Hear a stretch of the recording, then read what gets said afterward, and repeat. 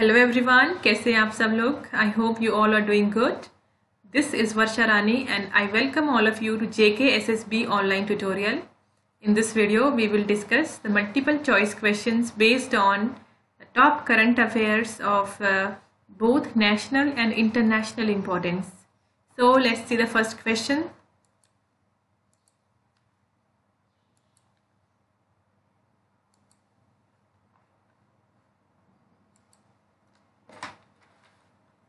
Which space agency has appointed Indian American Bhavya Lal as acting chief of staff? इनमें से कौन सी ऐसी space agency है जिसने भाव्य लाल जी को acting chief of staff appoint किया है? ये इंडियन अमेरिकन है, ये जो पर्सन है। तो ये है ना इसका आंसर ऑप्शन है NASA, JAXA ESA and Roscosmos ये क्वेश्चन इंपॉर्टेंट ये सारी जितनी भी एजेंसीज है ना, ये फॉरेन की है। तो ये हमारे लिए क्यों इंपॉर्टेंट है? क्योंकि ये जो पर्सन है, ये इंडियन ओरिजिन के है इंडियन अमेरिकन है। तो इसलिए ये इंपॉर्टेंट क्वेश्चन हो जाता है। तो इसका आंसर है नासा ये अमेरिकन स्पेस एजेंसी का नाम है। Next question question number two World Bank will be providing US T 500 million to improve road and digital connectivity to which nation इनमें से किस देश को 500 मिलियन यूएस डॉलर मिल रहे हैं? रोड और कनेक्टिविटी को इम्प्रूव करने के लिए वर्ल्ड बैंक की तरफ़ से। तो आपको मैं बता दूँ फ़र्स्ट फरवरी को ही बांग्लादेश ने वर्ल्ड बैंक के साथ एग्रीमेंट साइन किया है, जिसमें वर्ल्ड बैंक इनको 500 मिलियन यूएस डॉलर देगी। So the answer is Bangladesh.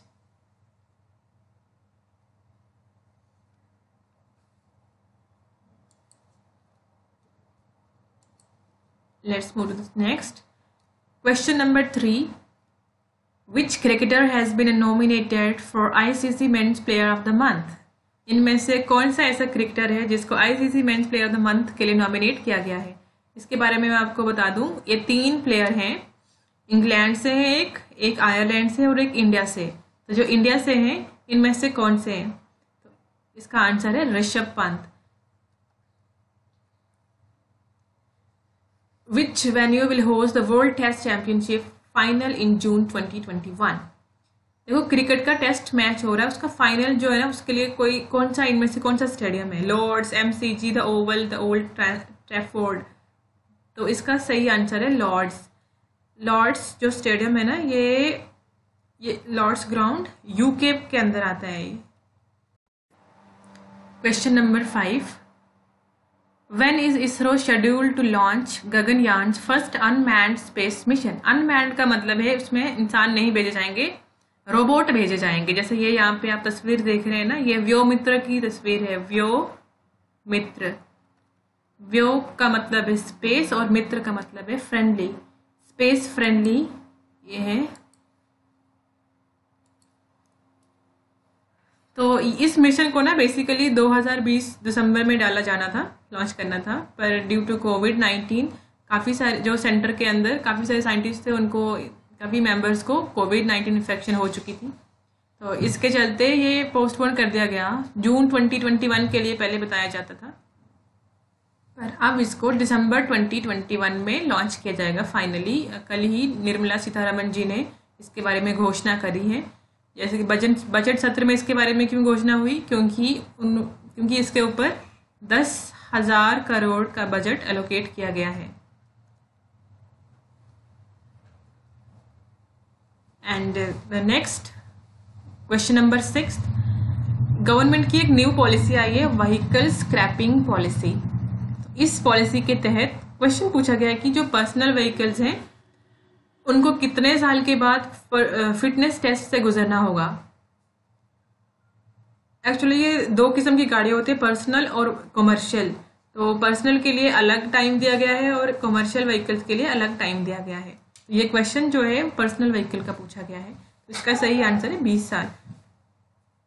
हर बीस साल के बाद जो पर्सनल गाड़ियाँ हैं, उन्हें फिटनेस टेस्ट से गुजरना होगा. और अगर मैं कमर्शियल व्हीकल्स की बात करूँ कमर्शियल व्हीकल्स तो इनको पंद्रह साल के बाद टेस्ट देना होगा। मतलब पर्सनल वालों को पाँच साल का रिलैक्सेशन है। Next question number seven how much agriculture infrastructure and development cess will be levied on petrol cess तब लिया जाता है जब गवर्नमेंट किसी एक क्षेत्र में डेवलप करना चाहती है, वहाँ पे पैसा लगाना चाहती है। तो किसी दूसरे चीज़ में सेस को बढ़ाया जाता है या टैक्स बढ़ाए जाते हैं। तो सेस इज़ सेस और कुछ नहीं, बस टैक्स ऑन टैक्स है। सॉरी हम पिछले पेज पे आ गए थे। Tax on tax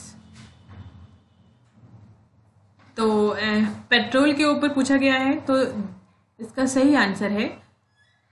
Two point five rupees per litre और अगर मैं डीजल की बात करूँ तो डीजल पे चार रुपये पर लीटर ये सेस लगाया गया है। क्योंकि गवर्नमेंट के माइंड में इस वक्त है कि एग्रीकल्चर का इंफ्रास्ट्रक्चर बढ़ाना होगा। तो इसके लिए ये सेस दूसरी चीज़ों पे लगाया गया है। और ये यूनिफॉर्म नहीं है, हर चीज़ पर डिफरेंट है। जैसे अभी मैंने एग्जांपल दी पेट्रोल के ऊपर 2.5 पर लीटर और डीजल के ऊपर चार रुपये पर लीटर हो गया है। So the question number eight question number eight बहुत ही सुर्खियों में बना हुआ हेडलाइंस में बनी हुई है ये न्यूज़ पूरी दुनिया के अंदर.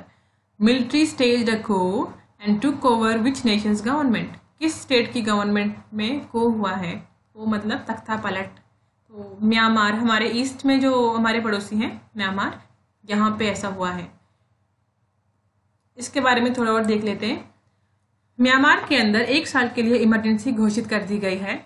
यहाँ की जितनी भी स्टेट पावर है ये मिन आंग यांग जो कमांडर इन चीफ है यहाँ के डिफेंस के ये शक्ल की इनके पास चली गई है। और जो यहाँ के वाइस प्रेसिडेंट थे मिंट स्वे उनको यहाँ एक्टिंग एक्टिंग प्रेसिडेंट बनाया गया है।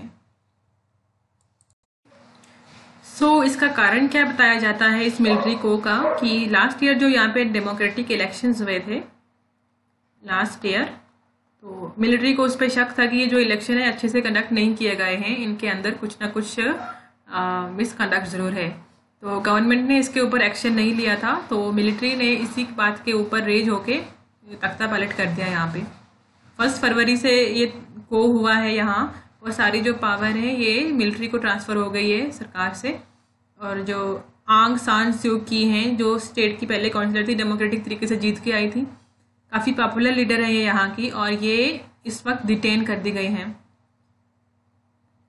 तो ये थे कुछ आज के इम्पोर्टेंट एम और करंट अफेयर्स पे बेस्ड तो मिलते हैं नेक्स्ट वीडियो में। तब तक के लिए बाय